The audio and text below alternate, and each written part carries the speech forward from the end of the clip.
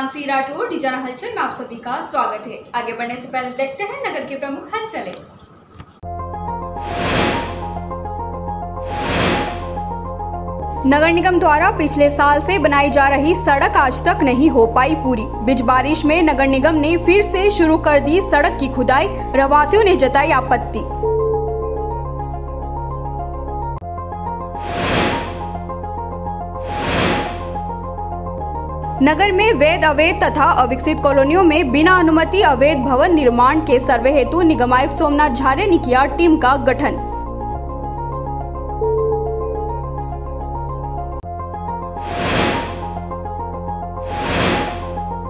Ward number 30 में भी भाजपा प्रत्याशी निर्विरोध निर्वाचित हो जाने पर विधायक चेतन काश्यप ने मुँह मिठाकर दी बधाई।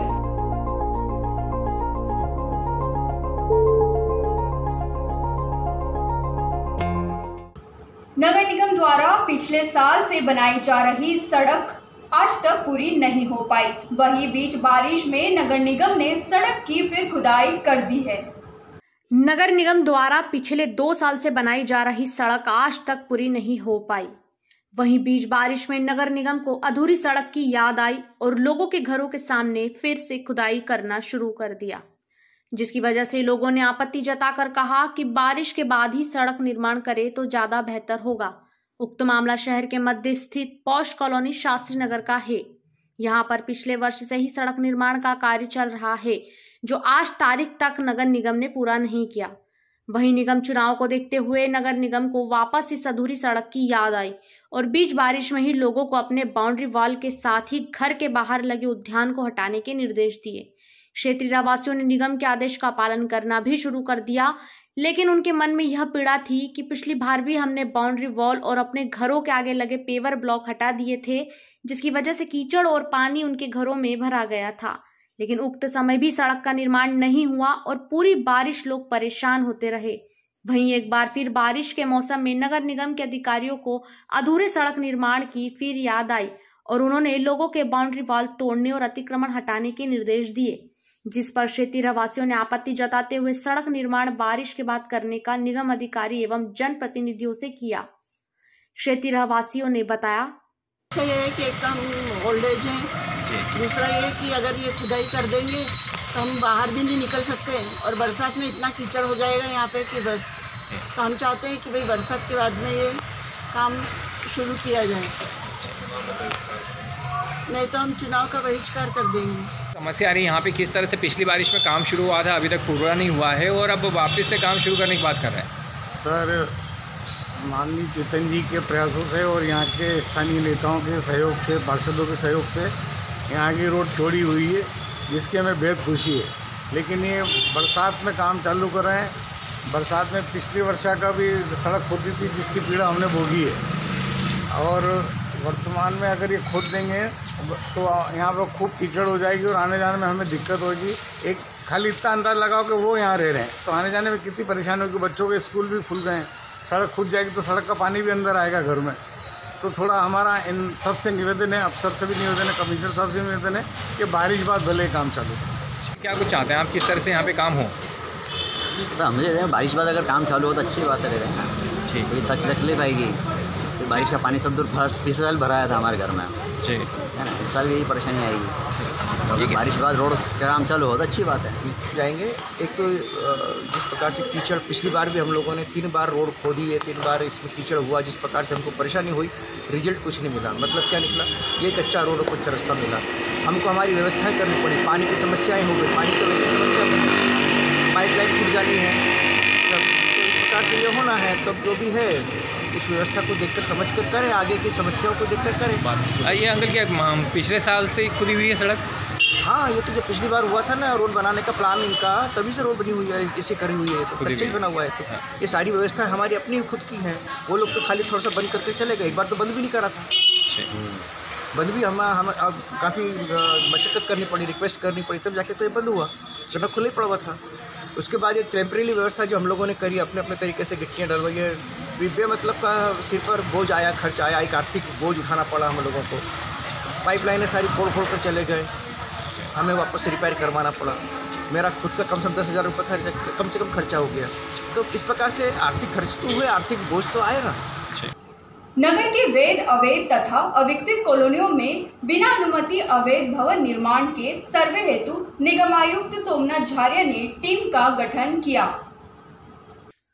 नगर में वैध, अवैध तथा अविकसित कॉलोनियों में बिना अनुमति अवैध भवन निर्माण के सर्वे हेतु निगम आयुक्त सोमनाथ झारिया ने कार्यपालन यंत्री, सहायक यंत्री व उप यंत्री को नियुक्त कर अपने अपने क्षेत्र में अवैध निर्माण का सर्वे कर सात दिवस में प्रत्येक कॉलोनी वाइज प्रमाण सहित प्रतिवेदन प्रस्तुत करने के निर्देश दिए। निगम आयुक्त ने नगर में वैध, अवैध तथा अविकसित कॉलोनियों में बिना अनुमति अवैध भवन निर्माण के सर्वे हेतु कार्यपालन यंत्री जी के जायसवाल, सहायक यंत्री श्याम सोनी, अनवर कुरेशी, राजेंद्र मिश्रा, उप यंत्री राजेश पाटीदार, ब्रजेश कुशवाह, मनीष तिवारी व सुश्री दीक्षा निज़ाम पुरकर का नियुक्त किया।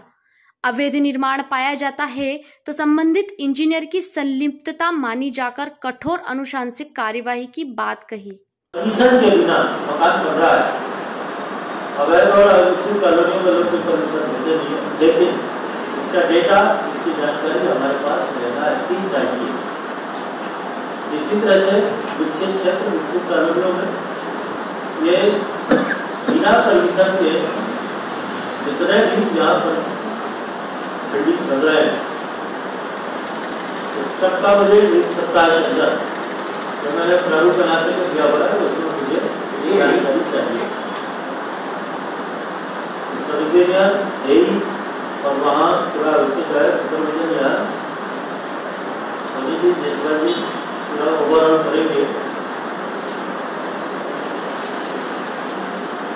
ये एक सप्ताह। कल मैंने दिया हुआ है। तो ये जो है आपका जो है, एक सप्ताह मतलब नेक्स्ट मंडे वैसे तो यहाँ कोई इतना इतना भोपाल टाइप का ये शहर नहीं बहुत बड़ा।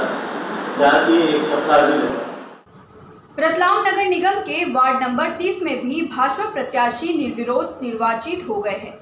शबाना खान के निर्विरोध निर्वाचित होने पर विधायक चैतन्य काश्यप ने मुँह मिठाकर बधाई देने के साथ पुष्पगुच्छ भेंट किया। अभी तक तो पंच सरपंच के निर्वाचन में निर्विरोध की बात आ रही थी, लेकिन अब रतलाम नगर निगम के वार्ड नंबर 30 में भी भाजपा प्रत्याशी निर्विरोध निर्वाचित हो गए हैं। नाम वापसी के दिन कांग्रेस की प्रत्याशी ने अपना नाम वापस ले लिया। ऐसी स्थिति में भाजपा उम्मीदवार निर्विरोध निर्वाचित हो गए। हालाँकि परिणाम वाले दिन ही उन्हें निर्विरोध निर्वाचित होने का प्रमाण पत्र दिया जाएगा। नाम वापसी के दिन ही कांग्रेस की प्रत्याशी ने अपना नाम वापस ले लिया। खास बात यह रही कि वार्ड नंबर 30 में केवल दो ही प्रत्याशी थे। अब यहाँ की जनता केवल महापौर को ही वोट देगी। शबाना खान के निर्विरोध निर्वाचित होने पर विधायक चैतन्य काश्यप ने मुँह मीठा कराकर पुष्पगुच्छ दिया। इस अवसर पर शेरू पठान, चुनाव संयोजक मनोहर पोरवाल, पूर्व महापौर शैलेंद्र डागा सहित पार्टी कार्यकर्ता उपस्थित रहे। शहर विधायक चैतन्य काश्यप ने जानकारी देते हुए बताया। नगर निगम चुनाव में भारतीय जनता पार्टी के लिए आज एक बड़ी महत्वपूर्ण उपलब्धि हासिल हुई है। वार्ड नंबर 30 से हमारी बहन सबाना निर्विरोध, निर्वाचित घोषित हुई है और मुझे उम्मीद है कि जो भारतीय जनता पार्टी का जीत का परचम हमारे मुख्यमंत्री शिवराज सिंह जी चौहान के नेतृत्व में फहरा रहा है और निश्चित हम रतलाम में, महापौर के साथ में अन्य सीटों पर भी बहुत ताकत से जीतेंगे। और सबसे बड़ी उपलब्धि एक मुस्लिम महिला हमारे भारतीय जनता पार्टी के निर्विरोध प्रत्याशी के रूप में सामने आई है और आपने उन्हें उनकी जो कार्यशैली है वह महिलाओं के लिए महिलाओं की उन्नति के लिए कार्य करना चाहती है निश्चित रूप से भारतीय जनता पार्टी एक सर्वस्पर्शी पार्टी है और भारतीय जनता पार्टी सबका साथ और सबके विकास पर निरंतर आगे बढ़ती रही अब बारी छोटे से ब्रेक की। माँ विंध्यवासिनी ड्रीम सिटी में अपने घर का सपना करे साकार। जमा करें मकान की कीमत का 50 प्रतिशत। और बाकी पेमेंट आसान किश्तों में। वो भी बिना ब्याज और बिना बैंक फाइनेंस के। मकान सभी साइज़ में उपलब्ध है। दस बाय चालीस, दस बाय पचास, पंद्रह बाय पचास, बीस बाय चालीस, तीस बाय पचास और बंगले भी इसी के साथ प्लॉट भी उपलब्ध है। साइट विज़िट के लिए संपर्क करें। Mobile number nine one seven nine nine seven zero nine zero six triple eight nine four six eight nine eight nine triple eight seven one six one eight seven three seven eight three one eight six four four zero five seven seven triple zero four five six seven three four office माँ Vindhyavasini dream city Triveni, Kaneri road, new Jhabua two lane, police line के आगे, रतलाम। श्री विशा पोरवाल जैन श्वेतांबर तीर्थ, Saguniya trust के चुनाव संपन्न हुए। चुनाव में श्री विशा पोरवाल जैन श्वेतांबर तीर्थ सागुनिया ट्रस्ट के पाँचों ट्रस्टी निर्विरोध चुने गए। श्रीवास पोरवाल, जैन श्वेतांबर तीर्थ सागोदिया ट्रस्ट के चुनाव संपन्न हुए। चुनाव में श्रीवासा पोरवाल, जैन श्वेतांबर तीर्थ सागोदिया ट्रस्ट के पाँचों ट्रस्टी निर्विरोध चुने गए। आईएमए हॉल राजेंद्र नगर में आयोजित तीर्थ की विशेष साधारण सभा में निर्वाचन अधिकारी बी पी कौशिक द्वारा चुनाव संपन्न करवाया गया। जिसमें अशोक जैन, चौटाला चंद्र प्रकाश पोरवाल, धनपाल पोरवाल, विक्की कुमार पोरवाल और मुकेश मुंबई वाला के निर्विरोध निर्वाचन की घोषणा की गई। समाज की निर्वाचन की प्रक्रिया आज समाप्त होने को है, जिसकी घोषणा अभी आपके सामने की जाएगी आपके समाज का निर्वाचन प्रक्रिया प्रारंभ की गई, जिसमें चौदह फॉर्म प्राप्त हुए थे। उसमें से छः नियोजन फॉर्म वेद पाए गए। उसकी घोषणा हमने की। उसके बाद एक ने अपना नाम वापस लिया, उसके बाद पाँच बचे। पाँच ट्रस्टी अपने को चाहिए थे और पाँच ही नियोजन काल में शेष रहे अपने। इसलिए आपका जो है, समाज का निर्वाचन जो है, दिनांक आठ छः बाईस को ही निर्विरोध हो चुका था। परंतु उसकी घोषणा जो है आठ तारीख देने की थी आप लोगों को सूचना देने की थी इसलिए आपके सामने एनडी बाबा बर्फानी बाईसवीं अमरनाथ जी की यात्रा पर अपने भक्तों के साथ रवाना हुए। यात्रा पर जाने से फ़ौरन महाआरती का आयोजन किया गया। बर्फानी सेवा मंडल रजिस्टर्ड कैथल हरियाणा मध्य प्रदेश की प्रथम रतलाम शाखा अध्यक्ष एनडी बाबा बर्फानी का प्रथम स्वागत जवार व्यायामशाला के भगवती प्रसाद शर्मा राहुल जाट एनडी बाबा बर्फानी के सेवादर नरेंद्र सेवाल भाजपा नेता मोहनलाल जी गुर्जर, कांग्रेस नेता राकेश झालानी, विकास पवार, इस्लाम धर्मानूरी रागी अमीर उल्ला शेख समाज सेविका, कविता व्यास बर्फानी सेवा मंडल के जिला उपाध्यक्ष राजेंद्र रविराज परमार, युवा मंच के रवि भाई राजेंद्र कसेरा, आनंद पालीवाल, महेश भक्त आदि ने बाबा साहब को पुष्प माला पहनाकर आशीर्वाद लिया। दत्त भोलेनाथ मंदिर पर ढोल धमाके आतिशबाजी की गई। बर्फानी तपस्या स्थल पर ढोल धमाके आतिशबाजी की गई।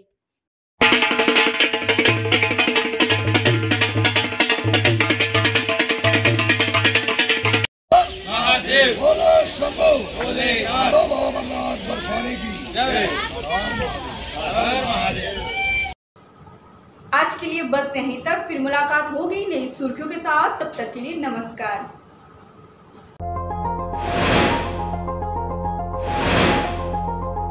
नगर निगम द्वारा पिछले साल से बनाई जा रही सड़क आज तक नहीं हो पाई पूरी। बिज बारिश में नगर निगम ने फिर से शुरू कर दी सड़क की खुदाई। प्रवासियों ने जताई आपत्ति।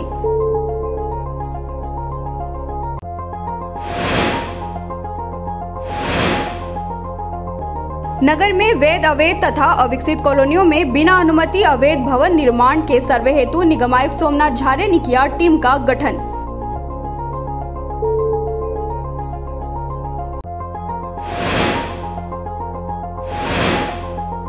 वार्ड नंबर 30 में भी भाजपा प्रत्याशी निर्विरोध निर्वाचित हो जाने पर विधायक चेतन काश्यप ने मुँह मिठाकर दी बधाई।